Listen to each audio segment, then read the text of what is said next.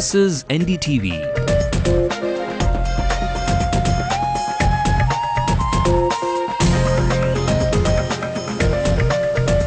And you're watching NDTV Hindu.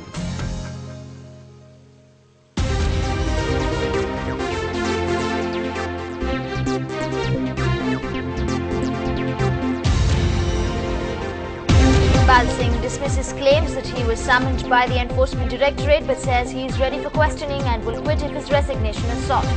Citing fresh instances of violence, Jayalalitha reiterates her appeal to the EC to take actions against the alleged attacks on AIADMK. Tangabalu's effigies burnt in Basin Bridge today. Heartburn against the TNCC chief increases. And Junior Chika gets cracking to NDTV Hindu with surely like father like son off the field. Can you imitate your father by any chance? Just his uh, mannerisms? A very good evening. You're watching the news on Headlines Now with me, Divya. All the political pot boilers and sporting action is coming up for you in this half-hour capsule. For the news in detail, let's take a look at the news making national headlines. Arvind Kejriwal rejects Digvijay Singh's claims that 50 lakhs were spent on Anna Hazare's 40 hunger strike. An infection has meant that Arunima's leg will have to be amputated further. Her condition has been described as serious. Arunima gets more offers of help. Yuvraj Singh and Harbhajan give Arunima a lakh each.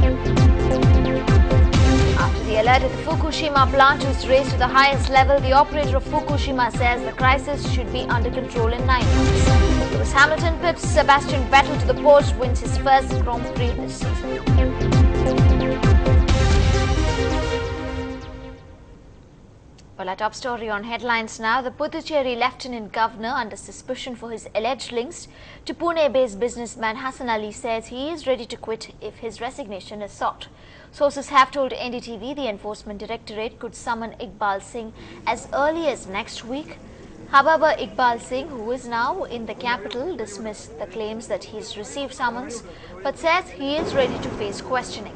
The Puducherry Lieutenant Governor's letter to the Home Ministry has said that he recommended Hassan Ali's name for a passport but doesn't have any links with Hassan Ali, who is considered to be the country's biggest tax evader.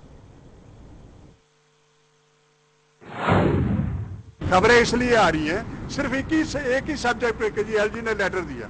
अरे letter दिया मैंने copy दे दी। As MP मैंने हज़ारों letter लिखे वो मेरे पास कापियाँ पड़ी हुई हैं। सर अब ये सवाल आ रहा है कि कल से आप कहा जा रहा है कि आपने इस्तीफा आपने दे दिया है। अरे भाई मुझे जब इस्तीफा मांगेंगे मैं देने को तैयार हूँ।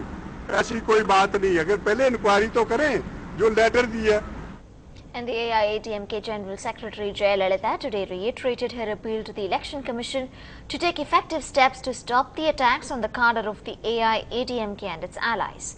She cited fresh instances of violence which targeted the AIADMK cadre in Pallavaram and Royapuram assembly constituencies. She alleged that the DMK men unleashed violence on the cadre of AIADMK and its allies across the state. She charged that the DMK regime was not capable of taking, ca- taking care of the law and order situation in the state.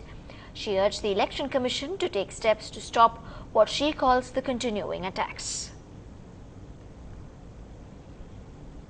And the heartburn against Tangabalu has been increasing by the day for a few section of the Congress members.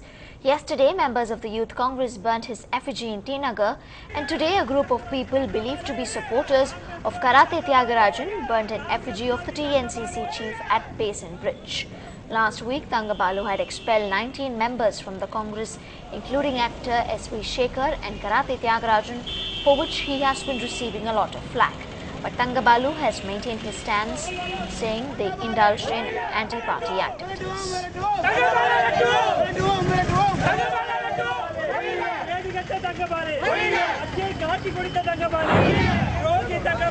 He has intentionally hidden a lot of facts to the AICC. We want to bring the mismanagement of the TNCC president. The TNCC president is supposed to lead and help the party. Instead, he is hurting the party by his, in, his inefficiency, his nepotism, and the several other factors that have been very well known in Tamil Nadu.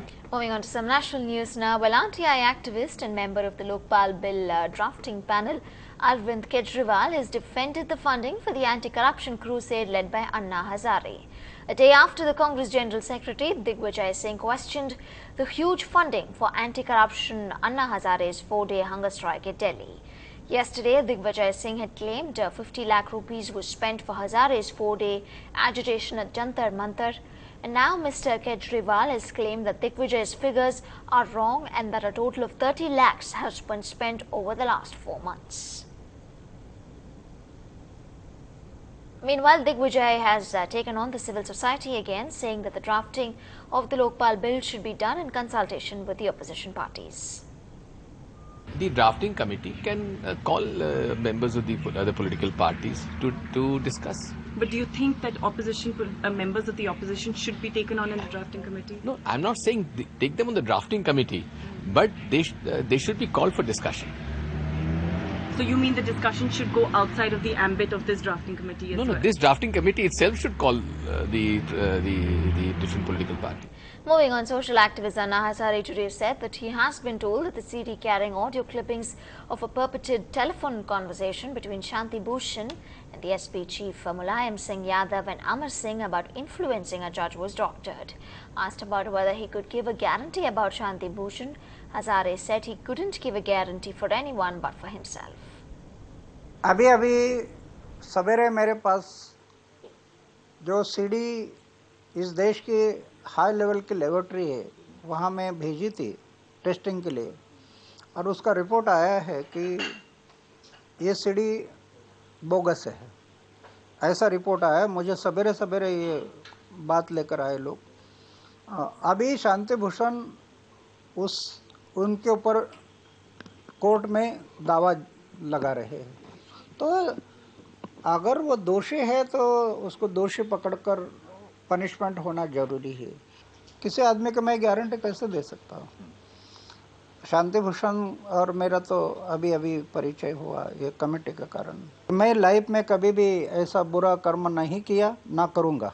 ये मैं अपनी guarantee दे सकता है दूसरे की guarantee मैं कैसे दे सकता And the newly formed panel on the Lokpal bill met for the first time in the capital yesterday, but the controversial CD sent anonymously to media houses a day before this meet that allegedly contains the co-chairman Shanti Bhushan's damaging conversation, however, did not overshadow the meet. Even as Shanti Bhushan himself reacted to the CD controversy, terming it a smear campaign against him and his family.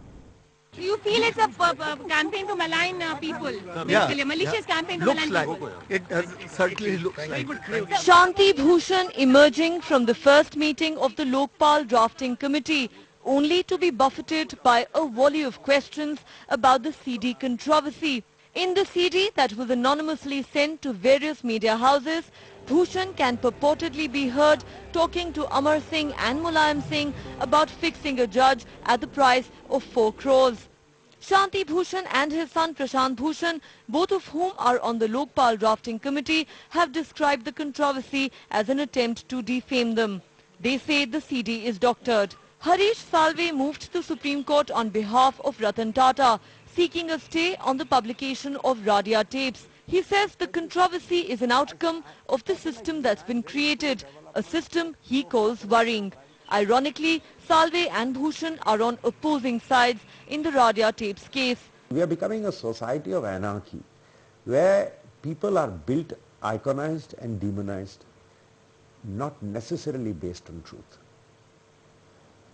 This just might be one more occasion where people have either, if the CD is false, they are being demonized on falsity, and if the CD is true, they have been iconized on the wrong basis. So now you've created this whole edifice and now this controversy has started and you're rightly asking the question, should not these two Caesars' wives also be above suspicion? The problem is the system which we have created and if, if we have to live with the system, the only answer to your question is yes. Then there are those who feel the endless controversies are a reality check after the euphoria over the initial success of the people's movement. Everybody lives in glass houses. Nobody should throw stones. A purist view is that nobody hankers for an office. If you are accused, you wait till the accusation blows over. The non-purist view is no matter what you've done, continue. A great movement is beginning to falter. But many supporters of the Bhushan say the controversy is nothing but a smear campaign meant to derail the Lokpal bill. This is a kind of a smear campaign going on. Idea is कि सारे मुद्दे को भटकाने की कोशिश की जा रही है जो नहीं होना चाहिए. Ultimately, Jan Lokpal bill is the issue, core issue. The Lokpal Drafting Committee has held its first meeting and both sides say the talks were positive and meaningful. But fact remains there have been simply too many controversies surrounding the committee in recent days. And if public perception is paramount, then the big question is, will the public have enough faith in this entire process meant to cleanse the system? In New Delhi, with Anuma Biswas, Neha Khanna for NDTV. And coming up on headlines now, a special report from South Africa on the controversy surrounding a new book on Mahatma Gandhi.